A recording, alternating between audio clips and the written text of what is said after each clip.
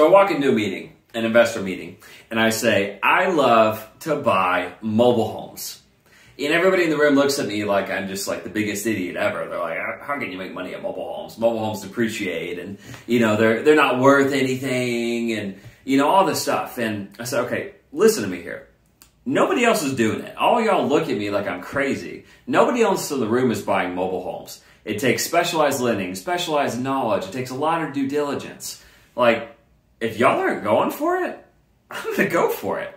And I have. And we bought several mobile homes. And why I love them, in addition to that, is because they are the cheapest form of housing possible. And whenever you buy the cheapest form of housing that a respectable person would love to live in, meaning like a renovated mobile home, you're always going to be able to sell it for top dollar.